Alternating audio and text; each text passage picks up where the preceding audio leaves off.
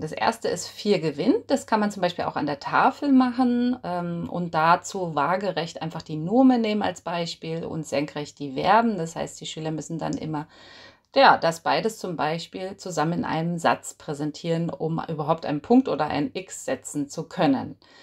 Das zweite Spiel ähm, ist es, äh, zum Beispiel die Tische farbig zu markieren, also so dass man die Tische mit etwas zusammensetzt, äh, beispielsweise den Artikel oder ja, das Rot zum Beispiel für eine bestimmte neue Vokabel steht. Also immer wenn das gesagt wird, dann muss man dann aufstehen oder dass man es ähm, ja mit dem Artikel benutzt und dann aufstehen muss etc. Also das kann auch sehr witzig sein.